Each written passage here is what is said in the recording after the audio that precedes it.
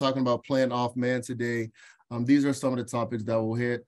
Um, you know, I think the biggest thing for me um, on all of this is being able to finish on the ball with great eyes, with a, with great eyes. So, what we start with here at Albany um, is my guys, the call, their alignment, their key, and then um, the elimination of the receiver. So that all it says is like, what's my favorite cake? So as the as my guys walk up to the line of scrimmage or they're getting the the call from the sideline. All right, they're thinking about the call, their alignment, their key, and how they're going to eliminate this receiver. And so I think it's super simple.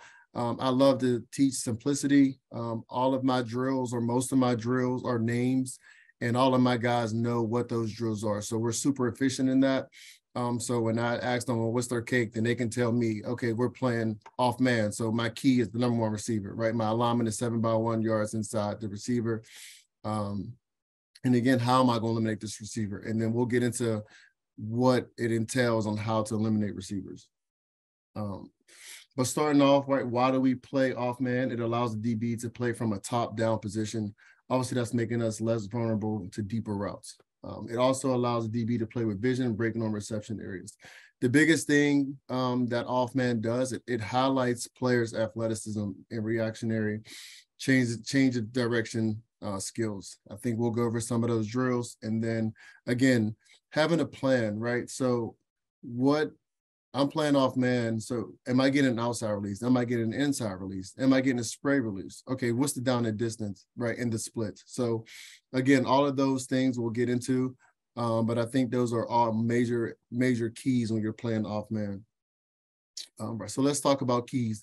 Uh, our primary key is a quarterback. So when we're in an off man position, we have our eyes on the quarterback, reading for three step, right? Three step, five step drop back, play action, all those type of um, we all those type of things we can get from the, the quarterback. So initially what we're going to do is walk out. So we'll walk out, have a walkout tempo on the snap.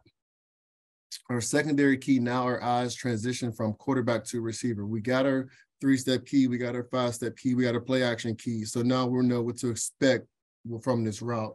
Um, and again, we'll we'll tempo pedal out off the quarterback um, and then if we get three step now, we'll set our feet, getting ready to plant and drive, right? If we get drop back or five step, right, we're going to tempo our pedal to the receiver. So let's just talk about developing the back pedal.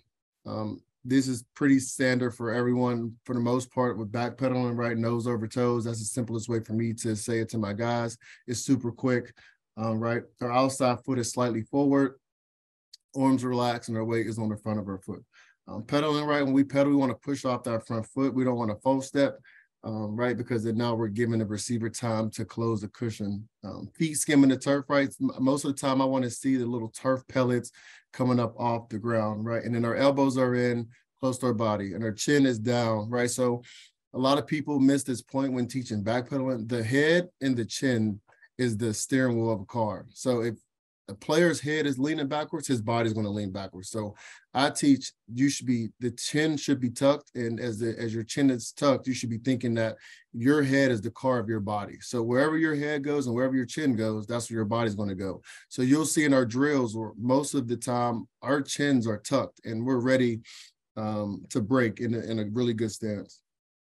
So let's just talk about our, our tempo pedal here. So if you watch, if you watch this drill here, we're going to walk out. So every drill was every pedal will start with a walk out, right? And then we'll flip and turn down the line of scrimmage. Right. So that walkout tempo is basically reading the quarterback for three step.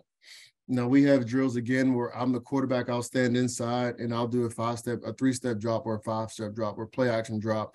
Um, but to start everything in in these basically our everyday drills, we'll start with a walkout tempo.